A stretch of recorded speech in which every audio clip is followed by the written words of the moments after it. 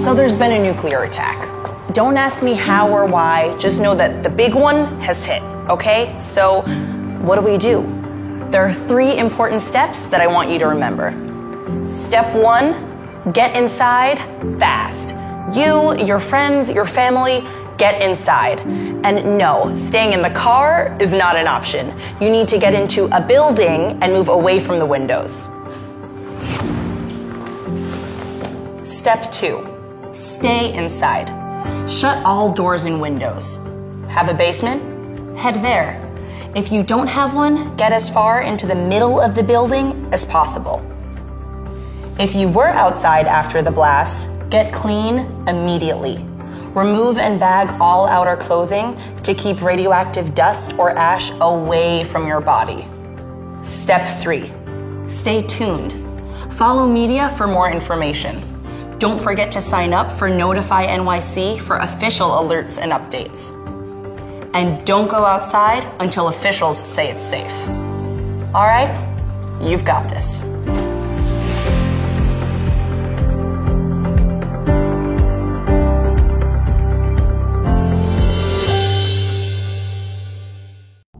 Shalom, Yasharala Shalom. This is your Akadash Alahayam coming at you with another quick lesson. First and foremost, I'd like to give all praise, honor, and glory to Yahweh, Bahashem, Yahweh Shai, Barakatah. Yahweh being the name of our Heavenly Father, the Ancient of Days, the Lord of Hosts, the Almighty. He's also known as the King of Terrors. And Yahweh Shai being the name of his only begotten Son, our Lord and Savior, who the world ignorantly calls Jesus Christ. And today, man, New York City has released a PSA for residents in the event of a nuclear attack because these heathens know that judgment awaits this great whore, the daughter of Babylon, which is known as America. So now they're trying to prep their citizens mentally for what's to come. But at the end of the day, there's no way to prepare except ye repent and turn back to these laws, statutes, and commandments and keep the faith in Hamashiach Yahushua there's no way to get around judgment that's coming in the form of fuels of fire, right? That's coming in the form of a nuclear attack. So let's start off with the book of Isaiah, chapter 9 and verse 5. This is the book of Isaiah, chapter 9 and verse 5, and it reads, For every battle of the warrior is with confused noise, in garments rolled in blood, right? Because in in um, formal times, when we went to war, we we had hand to hand combat, right? And it was confused noise. You hear the swords, you hear the spears, you hear the shields, you hear men yelling, you hear men screaming from from um, from getting uh, slashed up and and um, cut up with the sword right? It was with the confused noise and garments rolled in blood because we got bloody and hand to hand combat. That's how war used to be, you know. But in modern days, war is is uh, with the sword, known as a rifle or AR or AK, you know. So, you know, you don't really get bloody uh, unless you get hit you know what I'm saying? Unless you get hit by a bullet, unless you get blowed up by a damn grenade, right? So in the ancient world, a warrior is with a warrior is with confused noise. Every battle of the warrior is with confused noise and garments rolled in blood. Right? It say, but this shall be with burning and fuel of fire. So this war is going to be with burning and fuel of fire you know, modern warfare. You know what I'm saying? It's going to be loud explosions. You're going to hear nukes going off, right? It's going to be different this time. It's not going to be your typical world war per se, right? So New York City is getting their their um their their people ready for a nuclear attack.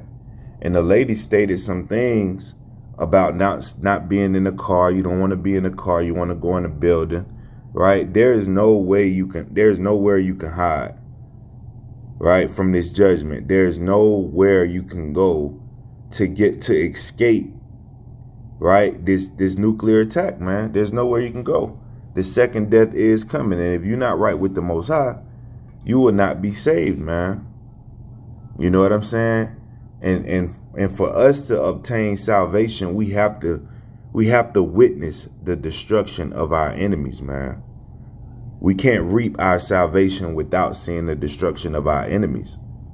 And a lot of people, um, a lot of Christians, you know, a lot of people in the world, they don't want to see our enemies destroyed because they in love with the enemy. They in bed with the enemy.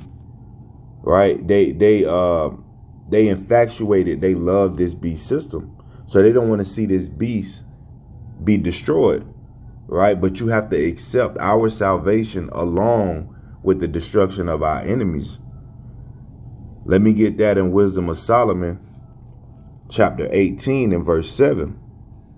And it reads, So of thy people was accepted both the salvation of the righteous and the destruction of the enemies. Right? So our people have to accept both the salvation of the ones that's keeping these laws, statutes, and commandments in the faith of Hamashiach, and the destruction of the enemies, the enemies that brought us over here in slave ships, the enemies that that we go to in the one of all things, right? The enemies that oppressing us, that slay us in the street and hold themselves not guilty. We have to witness the destruction of our enemies, man. You can't get around it, right? So the Heavenly Father put the put the spirit out for these um these oppressors in New York to put out a PSA that that um that um give residents a heads up in the event of a nuclear attack. Right? Because the second death is on its way, man. Right? Now let's go to the book of Second Peter chapter 3 and verse 10.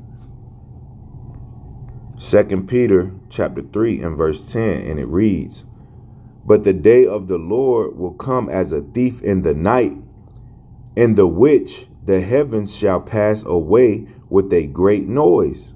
Right? And that great noise is the sounds of them nukes going off, man. Right? And the elements shall melt with fervent heat. The earth also and the works that are therein shall be burnt up. Right? Because the Most High put in the spirit of these heathens to come against this great whore, America. Babylon the Great, the mother of harlots, right? All these different nations, China, Russia, Iran, they have their nuclear ammunition, their nuclear power aimed directly towards this great, Salakia, towards this great whore, right? So the heavens shall pass away with great noise, and the elements shall melt with fervent heat. There's no way you can go and hide to escape the judgment. The only thing you can do right now is to forsake the world, repent, stop sinning, and follow these laws, statutes, and commandments in the faith of Hamashiach. Right? Because judgment is nigh. And let me get one more precept. One more precept. Let's go to the book of Revelation, chapter 18, and let's start at verse 17 right? Revelation 18 and 17, and it reads, For in one hour so great riches is come to naught, and every shipmaster and all the company in ships and sailors, and as many as trade by sea, stood afar off.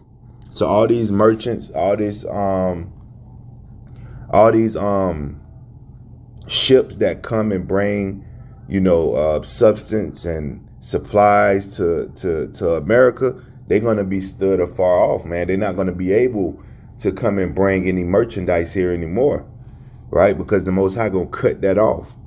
We already witnessed previews of this already when we saw all them crates in the ocean, man. They they was they wasn't able to come and bring the merchandise to this great whore, right? Verse 18 and cried when they saw the smoke of her burning, saying, What city is like unto this great city?